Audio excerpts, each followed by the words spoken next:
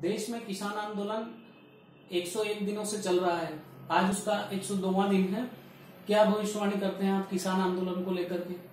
बरसों पहले भी हमने कहा था कि किसान पीड़ित हो रहेगा। सरकार की ओर उनके ध्यान देना चाहिए। किसान अन्नदाता न होकर एक भिक्षदाता हो गया वो हाँ। और उसको दर दर पर छोड़ दिया इसके परिणाम ठीक नहीं है। देश और समाज के लिए खतरा है।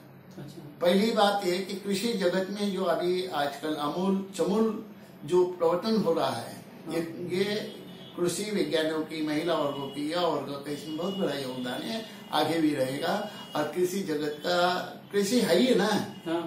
तो कृषि तो कृषि रहेगी ना। हाँ कृषि जगत किस कृषि जगत कैसा रहेगा?